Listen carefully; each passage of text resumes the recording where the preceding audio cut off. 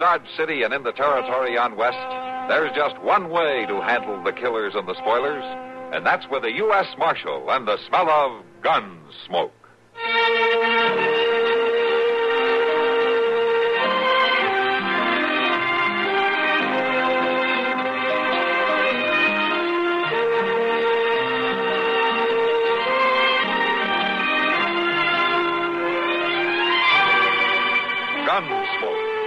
Starring William Conrad. The story of the violence that moved west with young America. And the story of a man who moved with it. I'm that man. Matt Dillon, United States Marshal. The first man they look for and the last they want to meet. It's a chancy job, and it makes a man watchful and a little lonely.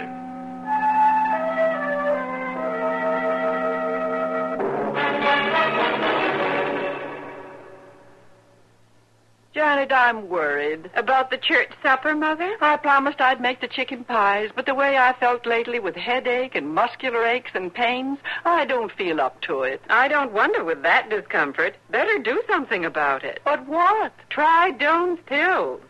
Good advice. That's Doan's Pills, an analgesic and mild diuretic to the kidneys. Nagging backache, also headache, dizziness, and muscular aches and pains may come on with overexertion, emotional upsets, or everyday stress and strain. Doan's pain relieving action is often the answer, and they also offer mild diuretic action through the kidneys. So if nagging backache is making you feel worn out, tired, and miserable, with restless, sleepless nights, don't wait. Try Doan's Pills, used successfully by millions for over 60 years. See if they don't bring you the same welcome relief. Get Doan's Pills today. To save money, buy Doan's Big Economy size.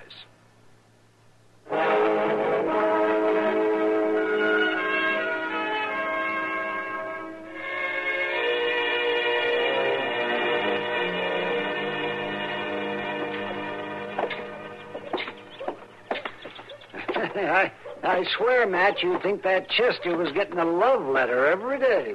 The way he races off after the mail. Yeah. he sure likes to pick it up every morning, doesn't he? Uh, I'll say that. He barely takes time to chew his food before he's off after us. I wouldn't worry about Chester, Doc. He gets his nourishment all right. oh, I know he does. but I could write a new medical book on his digestive processes. It's a good idea. Why don't you do that, Doc? Chester'd sure like to be famous. yeah, but I'm not so sure he'd like for me to cut him open. You're probably right about that. Uh, you coming in the office? Not this time, Matt, thank you. I got a call to make. All right, Doc. Well, Bud, I might give you another lesson in checkers after supper. Well, you're sure welcome to try. All right, then. I'll see you later. So long.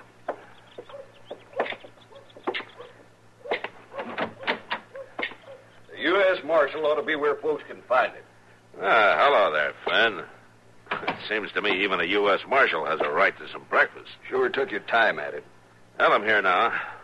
Uh, who's this fellow with you? That's what I come about. Listen here, Marshal. Can a man run his own cattle drive or can't he? Well, it seems to me you've always run yours, Finn. What's the trouble?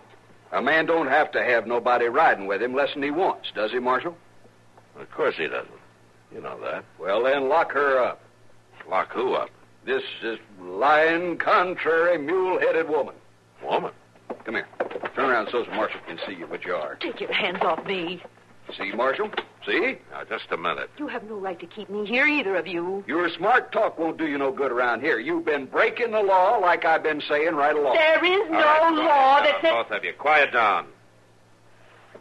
All right, now, Finn, what's this all about? She wouldn't get, Marshal. That's all there is to it. She hung on like a stray calf. You mean she rode up all the way from Texas? No, she joined up when we come to the Cimarron.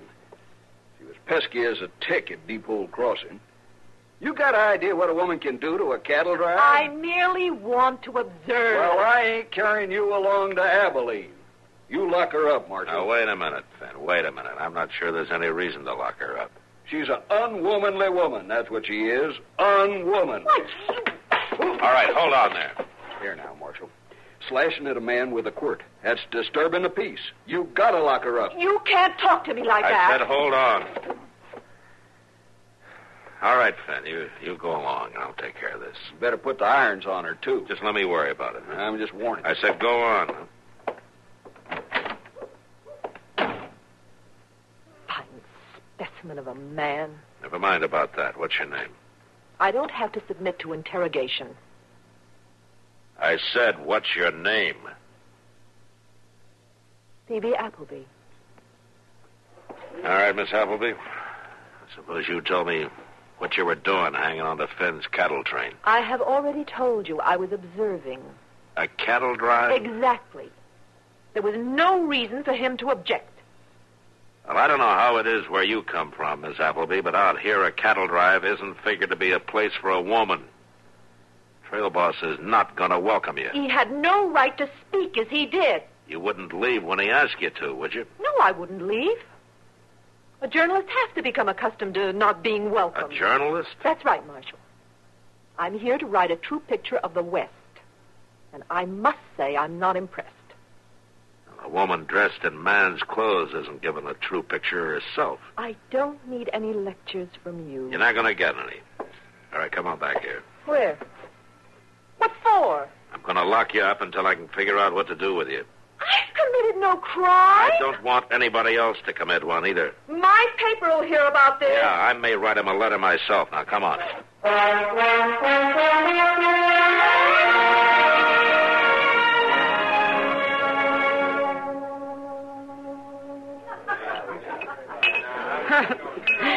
You better have another beer, Matt, to calm your nerves.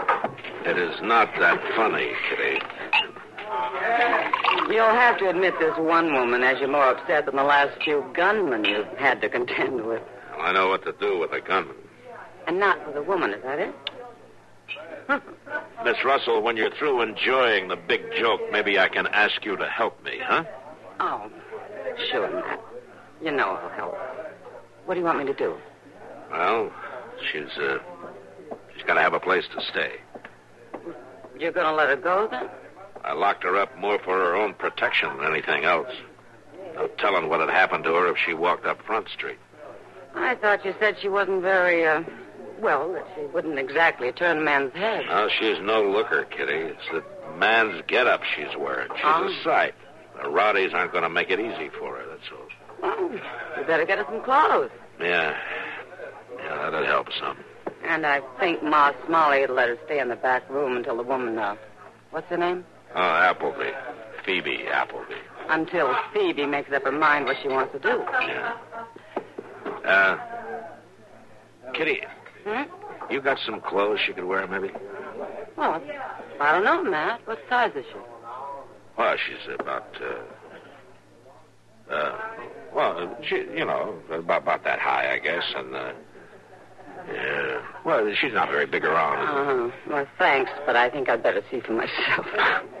yeah, I guess maybe you better.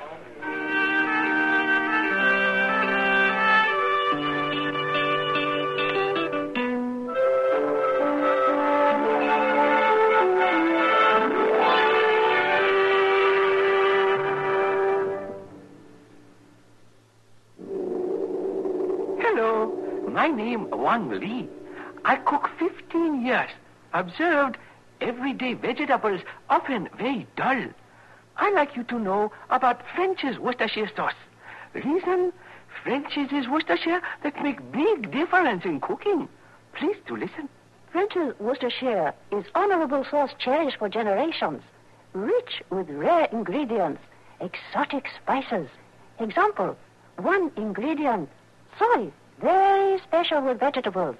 French's Worcestershire, full of spicy ingredients, 15 in all, as good as soy. but not Chinese.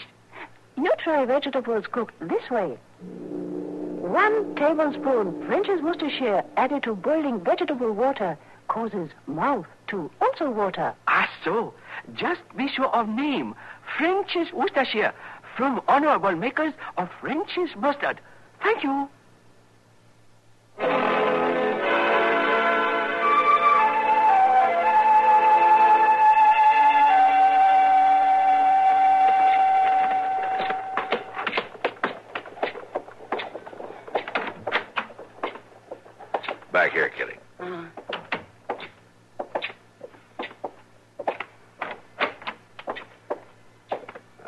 Appleby, this is Kitty Russell.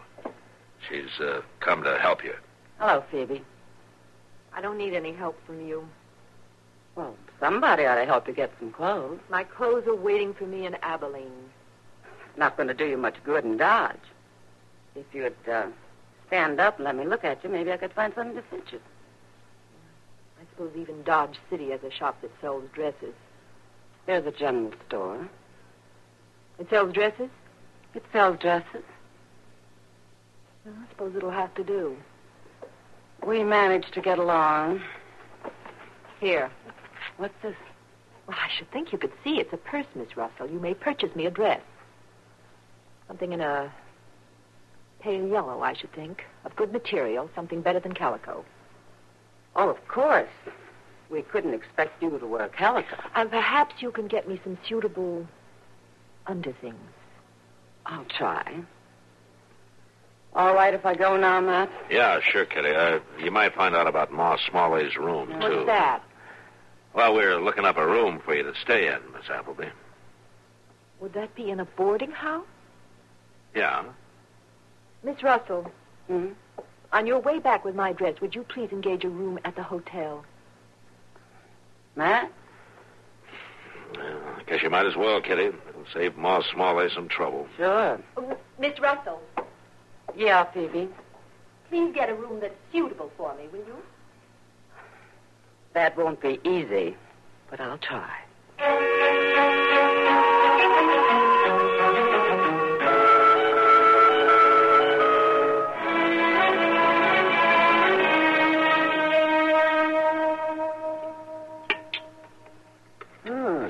I'm glad to see your appetite has returned, Matt.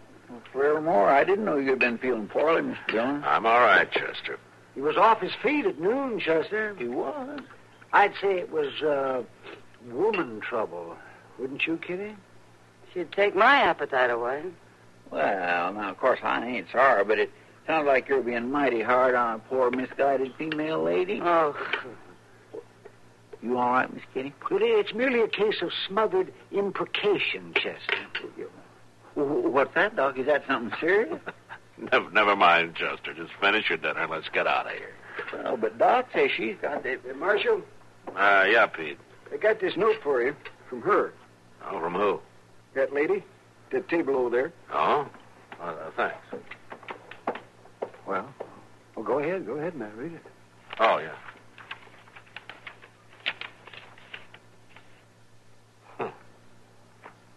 She wants to talk to me. She does. Well, well, who is it? A strange woman in town? you've been talking about her all through dinner. That woman? Hmm. Over there in the yellow dress? Yeah. That's Phoebe Appleby. Well, she doesn't look the way Matt described her. She, she's not bad looking at all. Well, as a matter of fact, she's a very handsome woman. Well, Matt, she's waiting. Yeah. Yeah.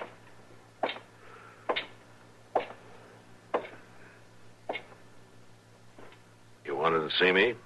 Yes, I did. Sit down. Thank you.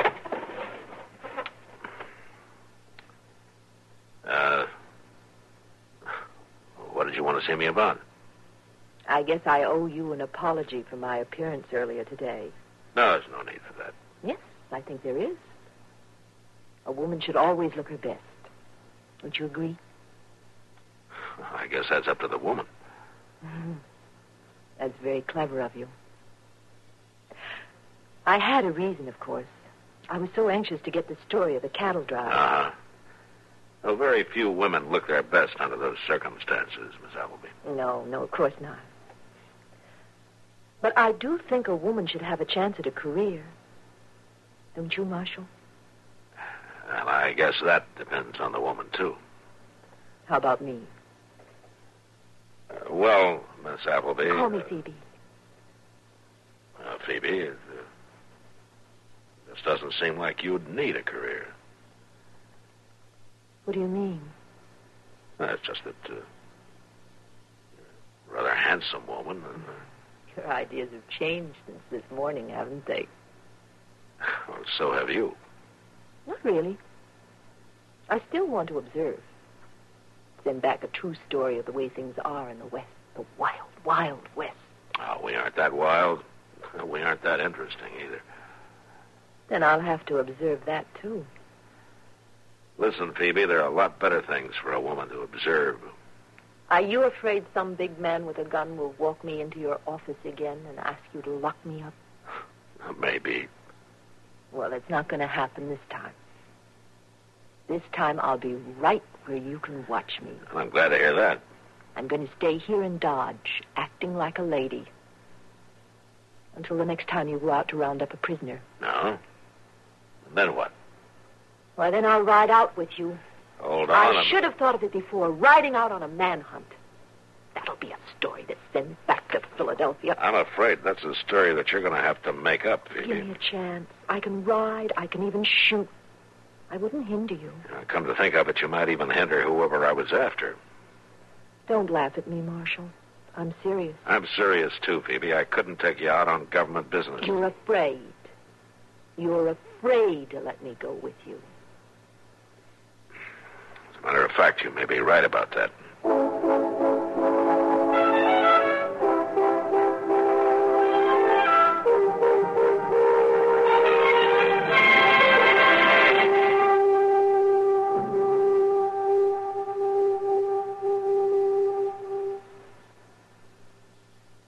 This is Dennis James with a longtime favorite.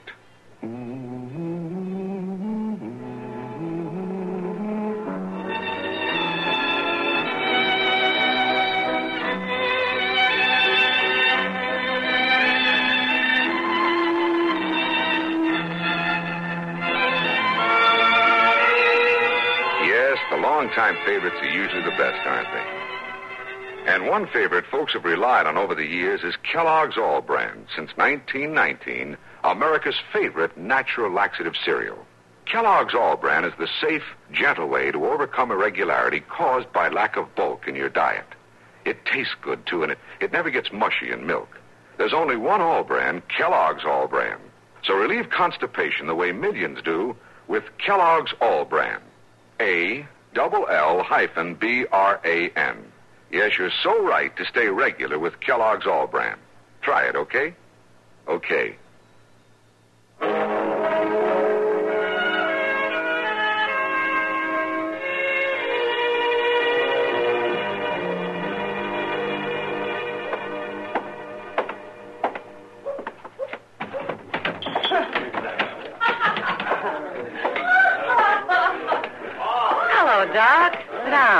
Thank you. Thank you, Kitty. Have a drink? Oh, thank you, Kitty. No, I've got too much to do yet. Huh? I actually came in to look for Matt. He isn't here. Oh, well, you know where I might find him? No, Doc, I don't. I haven't seen much of him lately. Oh, uh, I see. What do you mean, oh, I see? Oh, nothing, nothing, Kitty. No, it's just that you don't seem very happy with Matt just now. Oh, I'm not happy or unhappy. Just that I hate to see him making a fool of himself. Oh, so you think that's the way the wind blows, huh? That woman's after something from that, Doc. My guess is she's going to get it. Well, now, I don't know about that, Kitty. I must say, though, that she has turned out to be a real looker, hasn't she? Oh, the new dress never hurt any woman, Doc. Especially when she's been wearing trousers. oh, yes, but you get... She... Oh, great heavens. Hmm? What's the matter? What in tarnation is that woman doing in here? Looks to me like she's going right up to the bar. Excuse me, Doc.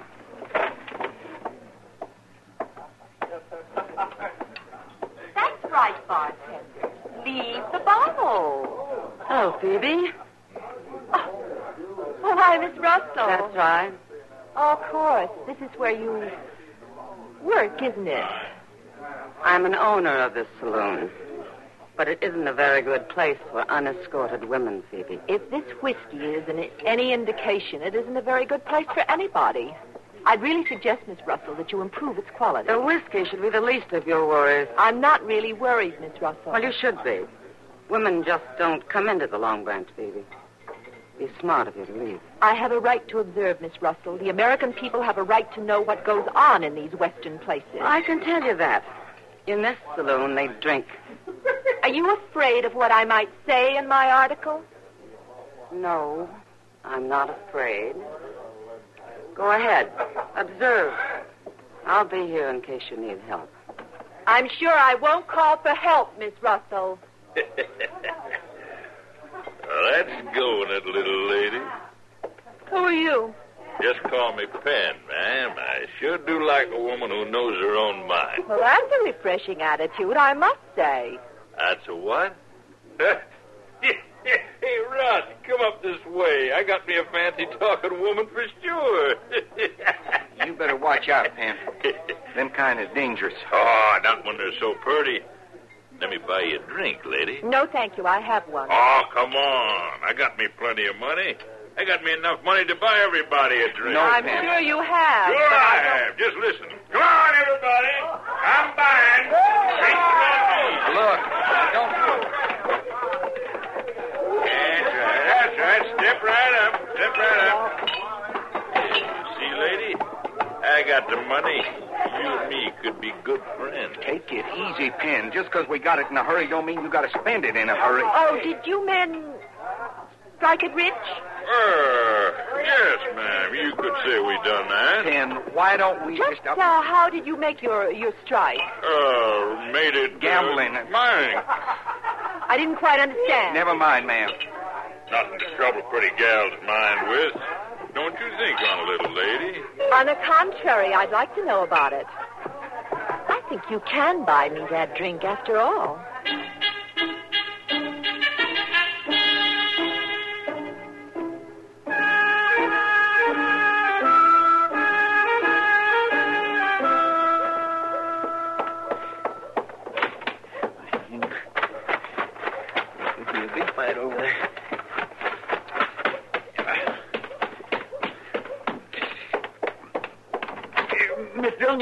Quick. Huh?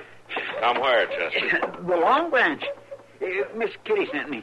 all right, come on.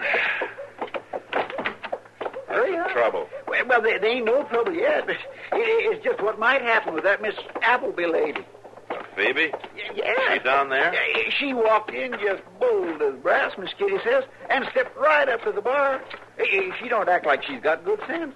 She's trying to prove she's got too much sense, Chester. That's the trouble. Well, Miss Kitty says a couple half-drunk strangers up there at the bar whooping and carrying on something terrible, and, and she's afraid there might be a ruckus. Yeah. Miss Dillon, tell me, what makes a lady get such a crazy idea as to go into a place like the Long Branch? I don't know, Chester. Let's just hope we can give her the idea to get out.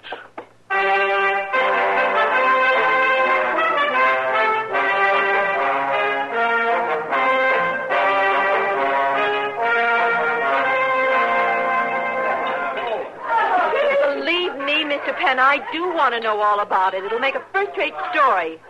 Now, this mine, where did you say it was? Why, uh, it was Up, out west. up north a ways. You don't seem to agree. Well, that's because he ain't never knowed when to keep his mouth shut. Now, you listen here, Rudd. I got as much right to talk as you got. You talk enough and you wind us up in jail. You mean this might be a case for the law? Now, you see there, Pen? Why, well, it ain't nothing, lady, nothing at all. I have an idea that you didn't get the money from a mine at all. Come on, Pen. Come on, where? We're going to get out of here before I ain't you going talk no anymore. place. I said move. The gun. That's right, lady. Now, you get out of the way. She ain't gonna get out of the way. She's gonna stay right here in front of me. Now, you ain't gonna shoot a lady, Rudd, are you? Let me go. Not right now, lady. Not till he gets gone. I'll shoot the both of you if I have to. All right, drop the gun. Not hardly.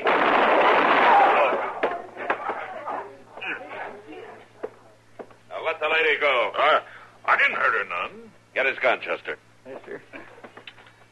All right, you. Get up. Come on. My, my hand. You near shot my hand off. You're lucky. Take him along, Chester. Lock him up. Yes, sir. It was her, Marshal. It was her. Making Pen talk. There'd never been no trouble. You, You'd never have known. I might have. A wanted poster came in this morning. All right, go on, Chester. Get Doc to look at that hand. Huh? All right, you. Come on, you. Walk. All right, Phoebe. Looks like you got a story after all. Phoebe. You're going to have to wait for your answer, Matt. The lady journalist has just fainted.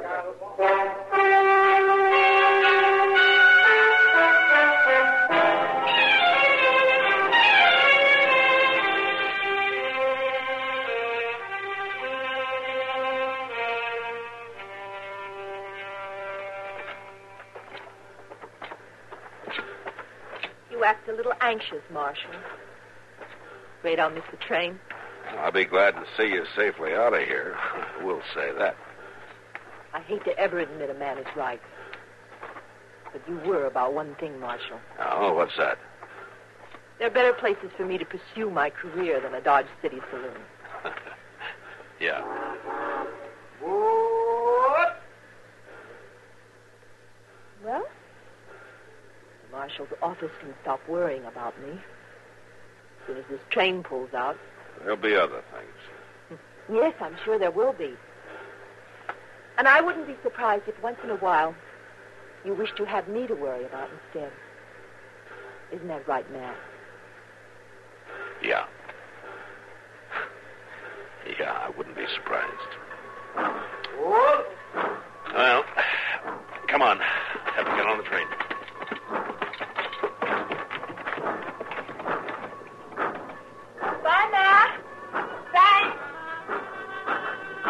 Goodbye.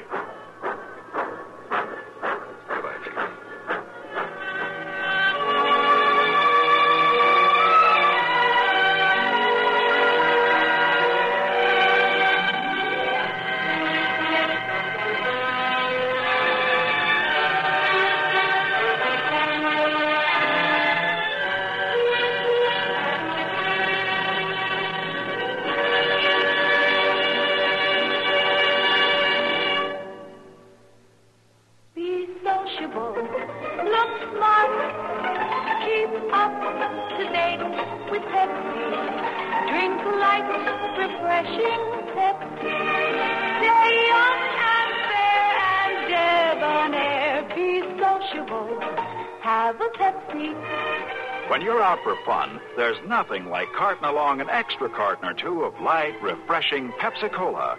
You can enjoy all you want of Pepsi's lively taste and sparkle because Pepsi refreshes without filling.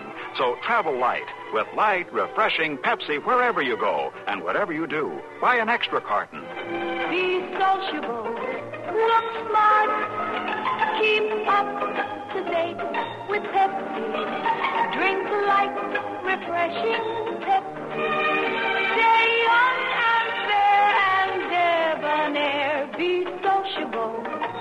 Have a Pepsi.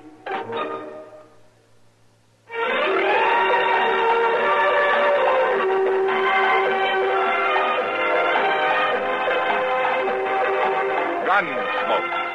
Produced and directed in Hollywood by Norman MacDonnell, stars William Conrad as Matt Dillon, U.S. Marshal. The story was specially written for Gunsmoke by Marian Clark, with editorial supervision by John Meston. Featured in the cast were Jeanne Bates, Barney Phillips, Harry Bartell, and Vic Perrin. Parley Baer is Chester, Howard McNear is Doc, and Georgia Ellis is Kitty.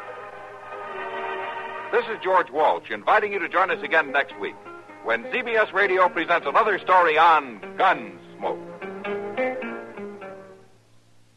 Twinkle, twinkle, little star. CBS Radio's where you are. Stars shine every morning. They shine right through the day. On CBS Radio, we never put the stars away. Art Linkletter. Moore and Godfrey, Bing and Clooney songs on CBS, CBS Radio. Stars shine all day long. Twinkle, twinkle, little star. CBS Radio's where you are. And where you are right now is WBT, your CBS station in Charlotte, presenting next the CBS News. At 7.05, keep tuned for another hard-hitting adventure with yours, Trey Dollar. Tonight,